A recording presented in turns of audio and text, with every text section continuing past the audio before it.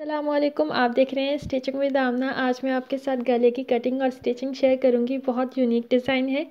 ये मैंने ना एक इंच चौड़ी पट्टी ली है बुकरम की और ये मेरे पास एक बॉर्डर था जिसके ऊपर मैंने इसको चिपका लिया है और दोनों तरफ़ से कपड़ा इस तरह से फोल्ड करके जो है वो ऊपर हम आयरन कर लेंगे।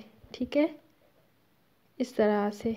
इसकी जो लंबाई है दस इंच की लंबाई है इसकी और एक इंच चौड़ी ये पट्टी है।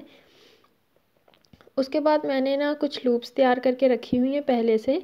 इस तरह से मैं गम गम लगाऊँगी और वो जो लूप्स हैं, वो मैं इस तरह से दो अटैच करूँगी एक साथ में।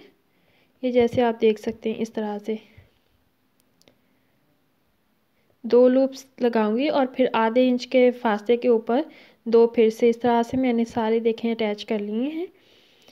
अगर आपके पास गम नहीं है तो आप सिलाई से भी इसको अटैच कर सकती हैं। और फिर इसके ना मैं लेस ली है एक, और इस तरह से मैं इसके दरमियान से इस फूल को निकालूँगी। ये मैं एक एक इंच के फासे के ऊपर अप्लाई करूँगी। इस तरह से नीचे तक कट कर लें। ये वाली लेस इस तरह से मैंने निकाली है। और ये देखें, ये मैंने बिल्कुल कमीज़ के सेंटर के पे ये पट्टी रख ली है। और ये जो फूल है, मैं इस तरह से नीचे रखने के बाद इसे सिलाई गुजारूँगी। एक एक इंच के फासे के ऊपर मैंने ये सारे फूल जो है वो अटैच करने हैं। बहुत यूनिक डिज़ाइन है। मेरे पास ये सना सफ़ी नाज का ड्रेस है जिसके ऊपर मैं ये अप्लाई कर रही हूँ।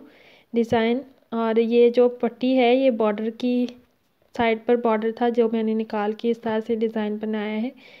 यूनिक डिज़ाइन बन जाता है और इस तरह के आपको मज़ीद डिज़ाइन देखने हैं तो आप मेरे चैनल को ज़रूर विज़िट करें। और वीडियो अच्छी लगे तो वीडियो को लाइक और चैनल को सब्सक्राइब ज़रूर करें।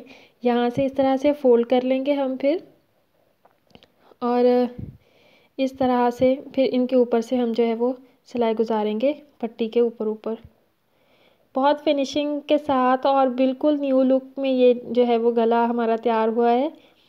उसके बाद ना गोल गले की कटिंग करके मैंने दरमियान में अटैच कर के फिर आपने जो है वो उसके ऊपर सिलाई लगाई है मैंने एक बारीक सी। अभी मैं आपको दिखाती हूँ। और बिल्कुल गोल गला काट के आपने जो है वो लगाना है इस तरह से। और डिज़ाइन भी बहुत यूनिक बन जाता है और अच्छा भी लगेगा।